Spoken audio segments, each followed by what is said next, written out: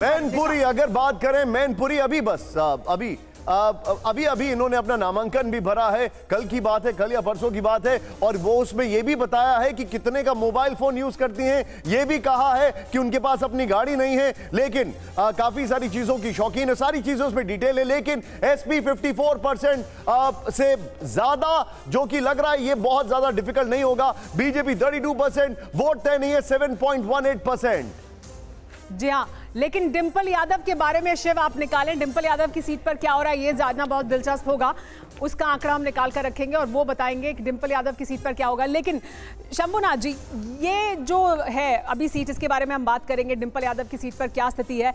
उत्तर प्रदेश में लेकिन जो हमारा ओपिनियन पोल दिखा रहा है उसमें समाजवादी पार्टी को थोड़ा फ़ायदा होता हुआ दिख रहा है गठबंधन की वजह से। क्या आपको लगता है कि वो जहाँ तक अभी है लिमिटेड वो रहेगा या और और बढ़ेगा ये? देखिए, चूँकि डिम्पल यादव मैनपुरी से लड़ रही हैं तो हो सकता है उसका असर थोड़ा बहुत आसपास की सीटों पर पड़े। आसपास की सीटों को पड़े, कन्नौज का फंसा हुआ अभी कन्नौज का मामला क्या हो गया? अगर कन्नौज से अखिलेश जी खुद लड़ते हैं तो कन्नौज सीट सपा को जा सकती है। बगल में फिर इटावा है।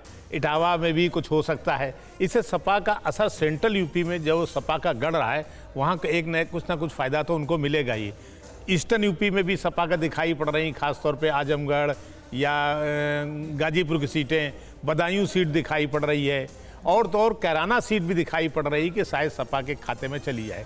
तो ऐसा नहीं कि सपा कोई कमज़ोर लड़ रही हो सपा का एक कांग्रेस से गठबंधन है उसका लाभ उसे मिल सकता है। कांग्रेस आज की तारीख में यूपी में कहीं जीतती न दिखाई पड़ रही हो यहाँ तक कि अमेठी और रायबरेली सीटें भी थोड़ी फंसी हुई हैं तो उससे ये तो महसूस हो ही रहा लेकिन, है कि लेकिन, फ़ायदा मिलेगा। जी लेकिन क्या हो रहा है डिंपल यादव की सीट पर? वो आइए बता देते हो तो देखिए ये है स्थिति डिंपल यादव की सीट पर।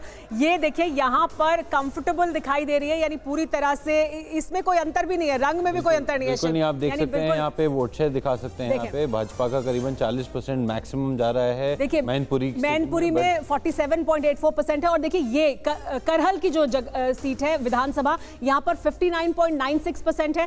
कि, कि, किशानी की जो सीट है वहाँ पर तिरपन दशमलव चार सात प्रतिशत और यहाँ देखिए जसवंत नगर पर बहुत बड़ा मार्जिन है। शिव बताएँ यहाँ पर यहाँ पे बीजेपी यहाँ पे बाईस साढ़े बाईस प्रतिशत के करीब है और बीएसपी जो वोट आ, सिर्फ़ पाँच परसेंट पा रही है वहाँ पे Sapa sixty four percent sixty four and half percent पे है। यानी बिल्कुल कंफर्टेबली बढ़त बनाए हुए हैं यहाँ पर डिम्पल यादव।